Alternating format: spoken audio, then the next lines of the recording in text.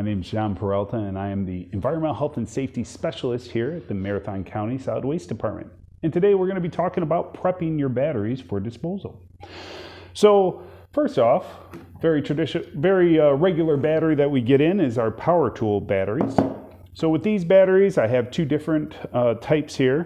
These are the nickel cadmium rechargeable batteries, and here I have a lithium ion battery. What's important is that the contacts are covered with some form of tape.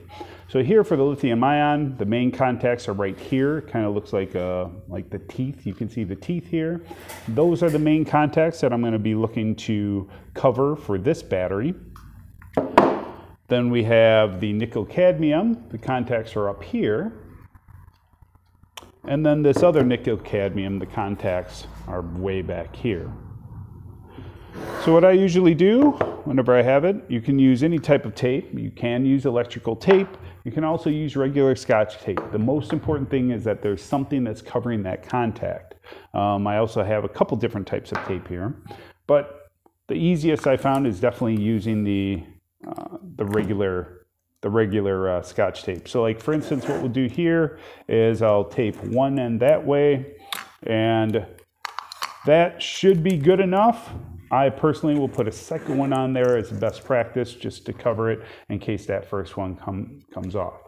So just like that, that one's prepared. We'll use a different type of tape for this second one. Well, looks like I got some, we'll use the electrical tape while we're at it.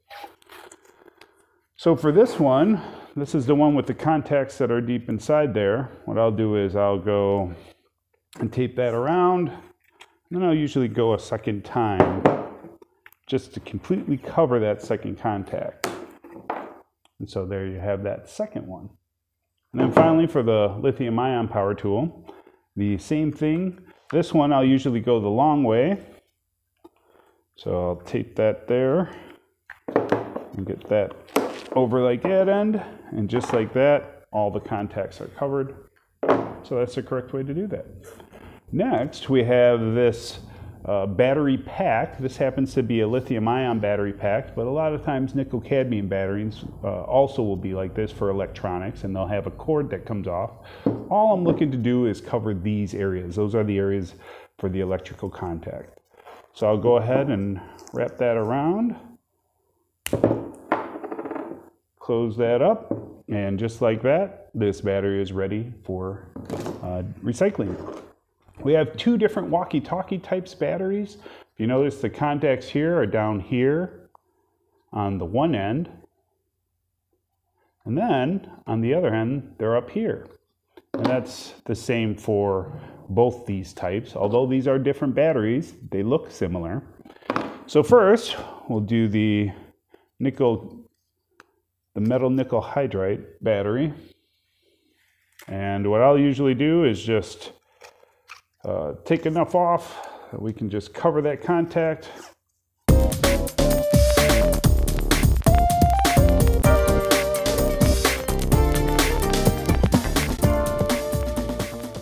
And just like that, your walkie-talkie battery is also ready for disposal.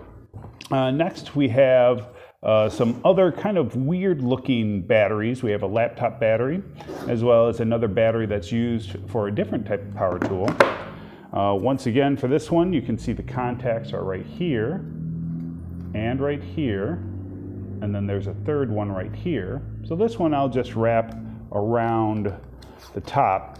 It's kind of an easy one because then you can get all the contacts together in one one good wrap. So now you can see there's no metal exposed at all. And that battery has been also ready for disposal. Here is that laptop battery. We have these, so you can see the teeth that are kind of there. That's the main area, that, that is the only area that we need to cover on this.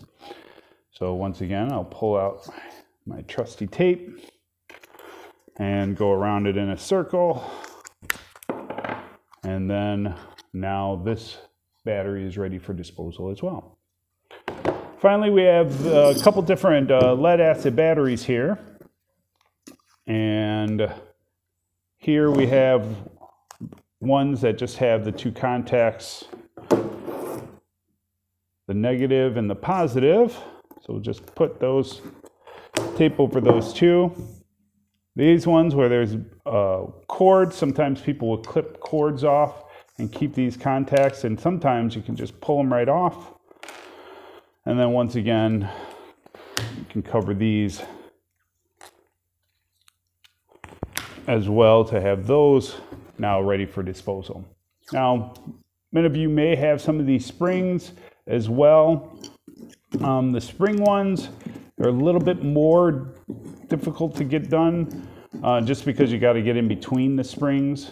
But as you see, just go through the first one and then the second one as well.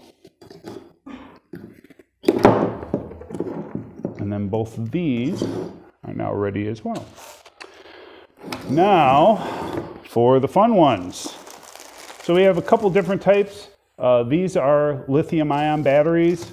Uh, these will be taped just like you would tape uh, you know, any of these other ones. You just want to have the contacts uh, covered.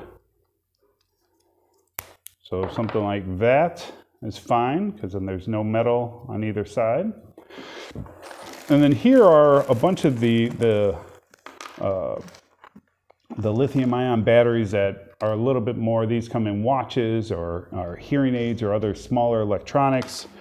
For these ones, the best way that I've learned to do it is if you take a little bit wider tape, then what you can do is you can place your batteries out on the tape.